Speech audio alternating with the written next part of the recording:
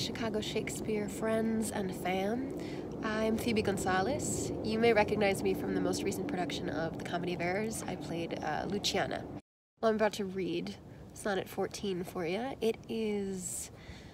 Well, you're gonna see. It. I, I find it very romantic, but it really takes its time to get to the romance. Um, it's a pretty heady into I love you, I think, because it's really not until the last four, six lines that you really even realize that's what we've been building up to. Um, but hey, if there's anyone who can do like deep intellectualism and real profound romance at the same time, it's our boy William Shakespeare.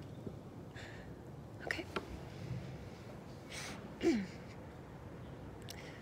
Not from the stars do I my judgment pluck, and yet methinks I have astronomy. But not to tell of good or evil luck, of plagues, of dearths, of seasons' quality.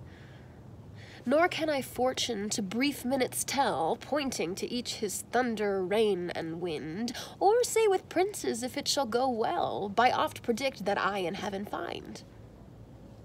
But from thine eyes my knowledge I derive, and constant stars, in them I read such art as truth and beauty shall together thrive, if from thyself to store thou wouldst convert.